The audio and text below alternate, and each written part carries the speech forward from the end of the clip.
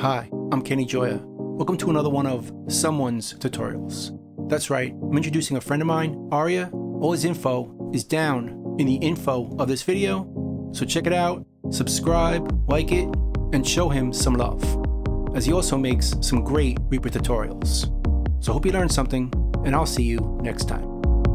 Hello, Kenny. Thanks for having me. Hello, everyone. My name is Arya, and in this video, I wanted to show you some useful actions from the SWS extensions. SWS is an open source extension that you can download for free, and it adds a ton of functionality to Reaper's already impressive set of features. To download it, go to this page, linked below, choose the appropriate install for your operating system, and follow the simple instructions to install it. While you're here, also make sure to donate if you can, to the creators of this incredible extension, who are just regular programming magicians, not employed by Cockos, and as you're about to see, their extension supercharges Reaper for a variety of applications, from recording and mixing to MIDI editing, podcast editing, and so on. Let's install it together, but for those of you who already have it installed, feel free to skip ahead. Before we install the extension, we should close Reaper, but first I'm gonna go to Options and down here choose Show Reaper Resource Path in Explorer slash Finder. This will open the directory where Reaper is installed. Keep this window handy as we need it in a second. For now, let's close Reaper. After SWS is finished installing, which only takes a few seconds, you will see this window. So go back to Reaper's directory and drag this file to the user plugin folder down here. Once you reopen Reaper, you will notice a new tab available on the top bar called Extensions. Now the features you see here each deserve their own tutorial, but today I wanted to focus on a few of the extra actions. So open your action list either by going to Actions, Action List, or you can press the shortcut shift and forward slash, aka question mark. I can come up here to the filter window and type in SWS, and we can see all the actions that have been added to Reaper. Some of these actions are tweaked versions of native Reaper actions, and others are completely new actions that are now easily accessible. I'm going to show you a few of my favorites, but of course, you should have a browse for yourself as different workflows will benefit from different actions. So let's switch to my custom Reaper install. I have a mixing project in front of me here with some drums recorded with multiple microphones. So I want to quickly pan some of these to get a wider stereo image. Now, of course, I can use the pan knob on any track, or I can select a few of them and pan them together. But this option could be a bit slow. Instead, let's open the action list, look for SWS, pan selected tracks, and we see these actions right here. I'm gonna assign some shortcuts for these. So let's take the first one, pan selected tracks to left, and I'm gonna add a shortcut here and use Command and I. Then for the same action for panning right, I'll use Command and O. These two buttons are next to each other, which is why I chose them to run similar actions.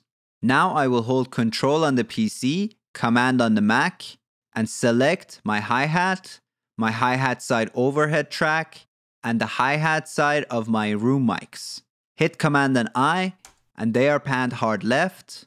I can then select the right side of my drums and hit Command and O to pan them to the right. We also have these commands to pan tracks symmetrically from left to right or right to left. So I'll assign them to Command Option and I and O respectively. So I can come down here to these backing vocal tracks, hit Command Option and I, and now they are panned symmetrically from right to left.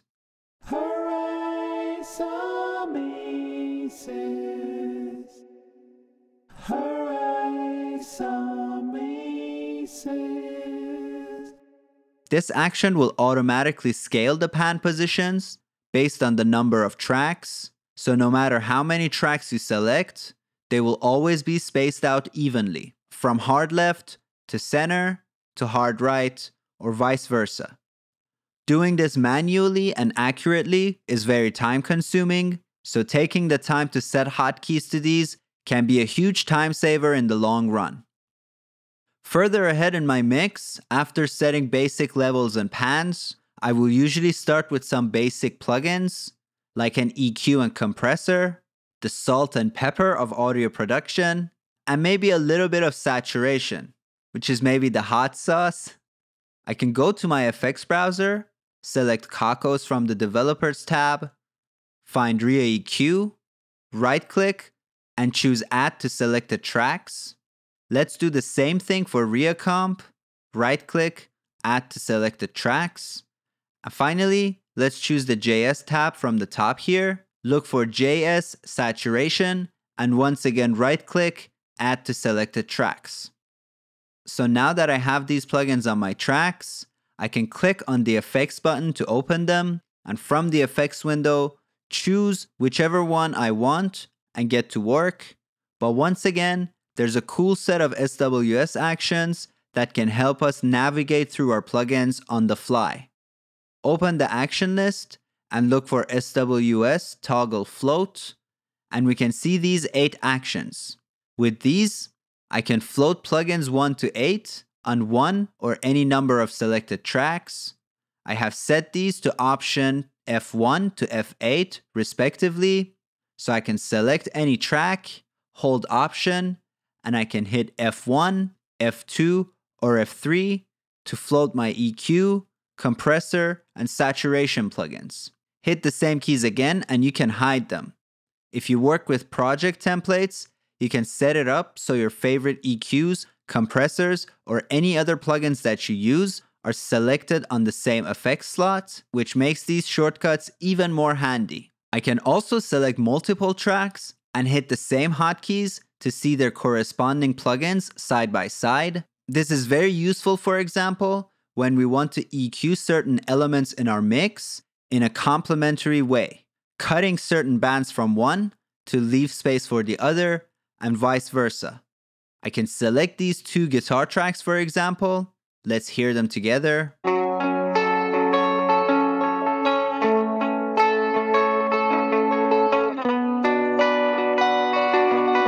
So we can hear some frequencies here that clash. So let's see what we can do with some EQing. With both tracks selected, I'll hit Option and F1 to float their EQ plugins side by side. And now I can EQ each one while referencing the other.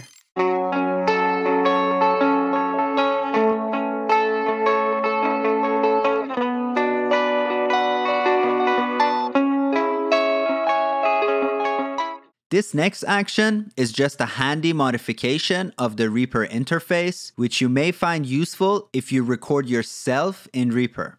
By default, I can arm any track in my project and then hit record to begin recording. I wanted a way to find out if I'm still rolling at a quick glance. So once again, open the action list and look for toggle ruler red while recording. This action has a state in front of it, which is currently off, but I can highlight it, choose run from the bottom here, and this will set the state of this action to on.